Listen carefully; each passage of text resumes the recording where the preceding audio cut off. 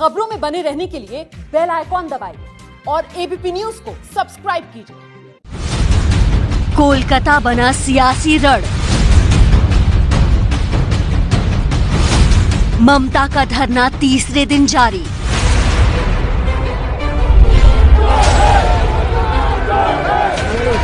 সবাই ভয় পেয়ে গেলেও আমি বাংলার মাটিকে ভয় পাই না मोदी सरकार के खिलाफ हल्ला बोल নরেন্দ্র মোদী আর অমিত শাহ দু পান্ডা মিলে বাংলাকে যেভাবে অত্যাচার করছে হিউমিলেট করছে ममता बोली जान दे दूंगी लेकिन पीछे नहीं हटूंगी जो डरते हैं वो मरते हैं जो डरते हैं वो मरते हैं जो लड़ते हैं इंसानियत के इंसाफ के लिए वही कामयाबी होते हैं सीबीआई की याचिका पर आज सुप्रीम सुनवाई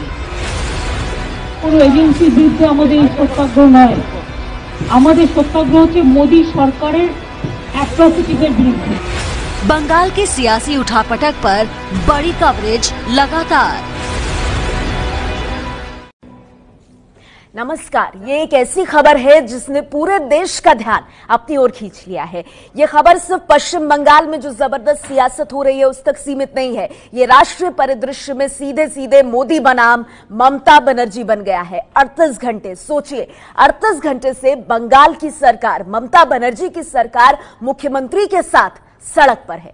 सीएम ममता बनर्जी 38 घंटे से धरने पर बैठी हैं। पीएम मोदी के खिलाफ विपक्ष की राजनीति का वो एक केंद्र बन गई हैं। रविवार की शाम कोलकाता के पुलिस कमिश्नर राजीव कुमार पर सीबीआई के छापे के साथ जो हंगामा शुरू हुआ, वो अब तक खत्म नहीं हुआ है, बल्कि उसकी गर्मी बढ़ती ही जा रही है। कोलकाता में छापा मारने आई सीबीआई, गिरफ़्तार हो गई। सुप्रीम कोर्ट तक मामला पहुँच चुका है। सुबह 11 बजे, आज सुबह 11 बजे सुप्रीम कोर्ट में इस मामले पर सुनवाई होनी है। ममता बनर्जी अपने स्टैंड से हटने को बिल्कुल तैयार नहीं 38 घंटे से धरना कर रही हैं और आज सुप्रीम सुनवाई होनी है इस मामले पर। सवाल उठ रहा है, ममता बनर्जी की, ये गांधीगिरी है जो गांधी जी के मूर्ति के ठीक नीचे धरने पर बैठी हैं, या दादागिरी है कि उनके सिवा पश्चिम बंगाल में किसी की नहीं चलेगी? ममता सीबीआई के बहाने बीजेपी से लड़ रही हैं तो बीजेपी भी ममता के आगे बिल्कुल झुकने को तैयार नहीं है। शनिवार को ममता सरकार ने योगी का हेलीकॉप्टर, आपको याद होगा, बालूरघाट और रायगंज में रैली के लिए उतरने नहीं दिया था। और इस दिन बड़ी विचित्र सी हमने तस्वीर देखी थी कि योगी आदित्यनाथ को फ़ोन पर संबोधित करना पड़ा था रैली को। लेकिन योगी ने भी अब लड़ाई छेड़ दी योगी आज फिर पुरुलिया में रैली करेंगे। कैसे करेंगे? हेलीकॉप्टर उतरने की इजाज़त तो आज भी उन्हें नहीं मिलेगी। तो इस आशंका के कारण अब एक रणनीति बनाई गई है। योगी लखनऊ से हेलीकॉप्टर से ही उड़ेंगे, लेकिन हेलीकॉप्टर झारखंड के बोकारो में उतर जाएगा और फिर बोकारो से सड़क के रास्ते योगी पुरुलिया पहुँचेंगे। बोकारो से पुरुलिया के बीच चौवन किलोमीटर की दूरी है। तो ममता सरकार भले ही बीजेपी और उनके नेताओं के हेलीकॉप्टर्स को अपनी ज़मीन पर ना उतरने दे, योगी आदित्यनाथ ने ठान ली है कि अब इस रणनीति के तहत वो पुरुलिया पहुंचकर रैली करके दिखाएँगे। हमारे लखनऊ ब्यूरो के संपादक और पश्चिम बंगाल की राजनीति को इन दिनों ग्राउंड ज़ीरो पर जाकर कवर कर रहे पंकज झा। हमारे साथ जुड़ गए पंकज, बिल्कुल आर पार की लड़ाई हो गई है और इस आर पार की लड़ाई में योगी आदित्यनाथ ने ये जो रणनीति तैयार की है, इसे कैसे देखा जाए? ममता हेलीकॉप्टर ना उतरने दे बंगाल की ज़मीन पर। हेलीकॉप्टर से बोकारो तक जाएँगे और वहाँ से चौवन किलोमीटर की दूरी पुरुलिया तक तय करेंगे बाय रोड। कैसे देखा जाए इस रणनीति को? देखिए, इससे पहले जब तीन फरवरी को रायगंज और बालूर घाट में थी रैली और बीजेपी के जो शक्ति सम्मेलन था, उसमें योगी आदित्यनाथ नहीं जा पाए थे क्योंकि हेलीकॉप्टर की लैंड करने की परमिशन ममता सरकार ने नहीं दी तो फिर उन्हें फ़ोन से ही रैली को संबोधित करना पड़ा। आज दो जगह थी रैली, एक तो पुरुलिया में, एक बांकुरा में। तो इसके लिए योगी आदित्यनाथ ने एक तोड़ निकाला। आज यूपी में बजट सत्र शुरू हो रहा विधानसभा का बजट सत्र। उसके बाद वो वहाँ से विशेष विमान से जाएँगे, वहाँ पर रांची। रांची से वो बोकारो जाएँगे हेलीकॉप्टर से। हेलीकॉप्टर से चौवन किलोमीटर दूर पड़ता है पुरुलिया। फिर वहाँ जाकर के वो रैली को संबोधित करेंगे, चूँकि हेलीकॉप्टर लैंडिंग की तो परमिशन मिली नहीं। लेकिन इसी चक्कर में बांकुरा की रैली आज उन्हें रद्द करनी पड़ी है। तो ये तरीका निकला निकाला गया है कि आसपास के राज्यों में जहाँ उतर करके वो लैंडिंग करके वो पहुँच सकते हैं। तो योगी आदित्यनाथ आज पहुँच रहे हैं पुरुलिया। माहौल चुनावी है इसीलिए तैयारी दोनों तरफ़ से है। तो ममता के हेलीकॉप्टर लैंडिंग की परमिशन न देने का मुख्यमंत्री का प्रदेश के सीएम का कहीं जाना उसको लेकर कोई प्रोटोकॉल भी तो होता है। तो इस तरह की रणनीति और प्रोटोकॉल दोनों साथ साथ कैसे चलेंगे? देखिए, बात किसी भी लोकतंत्र में इस तरह की चीज़ें अच्छी नहीं है, लेकिन मुझे याद है, जब आपको याद होगा, यूपी में भी इस तरीके से असदुद्दीन ओवैसी को भी रैलियाँ करने की इजाज़त नहीं दी जा रही थी।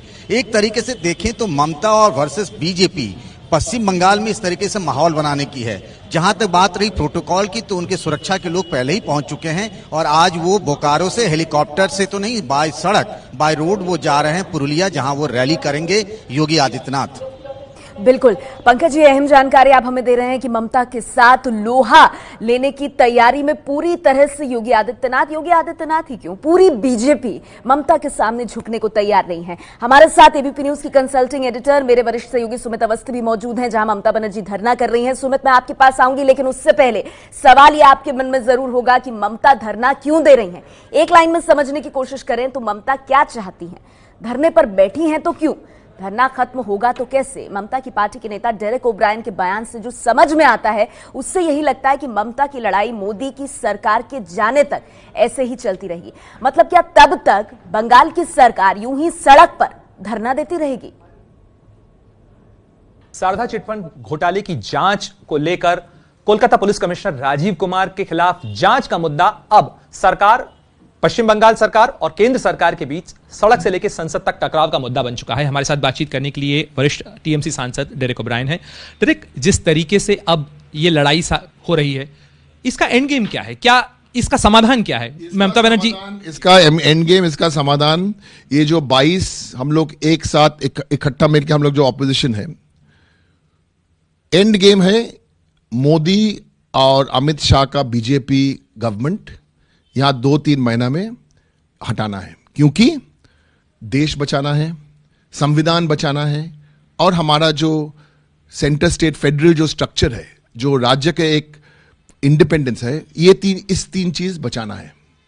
और ये जो भी करना है, हम लोग एक साथ इकट्ठा मिलकर करेंगे। ये फोकस है। और ये जो करप्शन का मुद्दा है, ये करप्शन सबसे करप्ट सबसे भ्रष्टाचार अमित शाह और मोदी जी का बीजेपी है। संविधान बचाने की बात ममता बनर्जी कर रही है वो धरने पे बैठी हुई है लेकिन ये अभी तो अनप्रेसिडेंटेड है कि धरने पर बैठी हुई कैबिनेट जो है वहाँ पर स्टेट का बजट अप्रूव हो रहा है। क्या ये संविधान की ड्यूटी राज्य के प्रति नहीं है? नहीं आप सुन लीजिए। जब in difficult times it calls for difficult measures काम तो हो रहा है काम तो हो रहा है। और देश देख रहा है, बंगाल देख रहा है। काम तो हो रहा है कि आज इंपॉर्टेंट डे है बजट का तो बजट का मीटिंग साइड में हो रहा है। और काम भी होगा, धरना भी होगा, और एक चीज़ पार्लियामेंट में जो कोऑर्डिनेशन जो हो रहा है ऑपोजिशन पार्टीज़ को, ये इंपॉर्टेंट है। ये सब क्यों शुरू हुआ? ये जो अटैक हुआ ना तृणमूल या ऑपोजिशन ये क्यों शुरू हुआ? शुरू हुआ क्योंकि 19 जनवरी में बाईस तेईस ऑपोजिशन पार्टीज़ इकट्ठा मिलकर कलकत्ता में एक वेरी गुड मीटिंग और मीटिंग के बाद, बड़ा मीटिंग के बाद तीस, पैंतीस, चालीस लाख वहाँ आदमी थे। और उसके बाद और एक मीटिंग हुआ प्लानिंग के लिए। उसके बाद अब दिल्ली में अभी मीटिंग हुआ विथ ऑल दीज पार्टीज़ तो बीजेपी अभी समझ गया जी, इसके तीन, चार, पाँच बहुत इंपॉर्टेंट लीडर है। तो चलो उसको आगे you know attack them first so that is the reason for this political attack meeting में कुछ दम नहीं था तो ये सब नहीं होता। आप सुन रहे हैं डेरेक ओब्रायन को। बहुत साफ़ कह रहे हैं कि ममता सरकार अपनी मांगे पूरी होने तक यूँ ही धरने पर बैठी रहेगी और कामकाज भी करती रहेगी सड़क से ही। अब सवाल यह है कि ममता बनर्जी आखिर चाहती क्या है? सीधे रुख करना चाहेंगे उस धरना स्थल का, जहाँ पिछले अड़तीस घंटे से पश्चिम बंगाल की मुख्यमंत्री ममता बनर्जी धरने पर बैठी है। सुमित, ये सवाल सबके मन में है कि ममता बनर्जी इस धरने के माध्यम से क्या हासिल करना चाहती है? क्या मिल जाए उन्हें जो वो और उनकी सरकार धरना खत्म कर दे?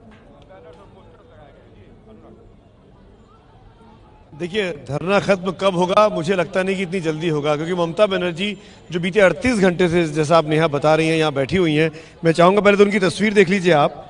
पीछे धरना स्थल पर ममता बनर्जी के साथ साथ तृणमूल के तमाम नेता जुट गए हैं। अब इंतज़ार हो रहा है सुप्रीम कोर्ट के फैसले के आने का। जो हियरिंग होगी 11 बजे के आसपास, दो महत्वपूर्ण चीज़ें हमको नहीं भूलना चाहिए।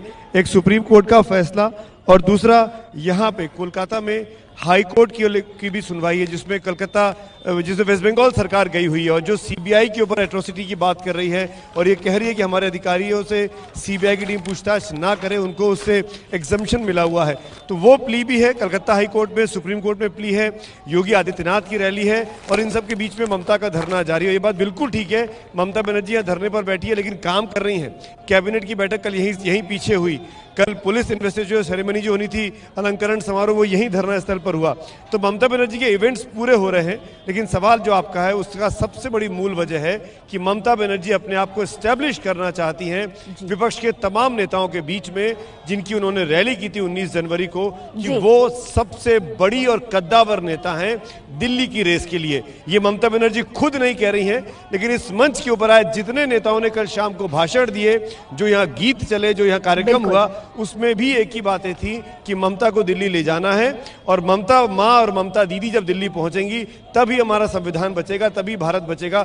इस तरह की बात आप सुमित कह रहे हैं कि ममता बनर्जी खुद ये नहीं कर रही हैं लेकिन मुद्दा उठा, उठा के जिस तरह से वो धरने पर बैठी हैं अब बाकी विपक्ष के नेता उनके पीछे आकर के एक तरह से धुरी बनाते हुए उन्हें विपक्षी एकता की बात कर रहे हैं और पश्चिम बंगाल में संविधान बचाने के साथ साथ ममता बनर्जी की पार्टी और उनके समर्थक कह रहे हैं कि उन्हें अब दिल्ली लेकर जाना है। जैसा हमने कहा कि ये मोदी बनाम ममता की लड़ाई साफ़ तौर पर नज़र आ रही है और इस पर सुप्रीम कोर्ट में आज अहम सुनवाई होनी है। ये है एबीपी न्यूज़ आपको रखे आगे।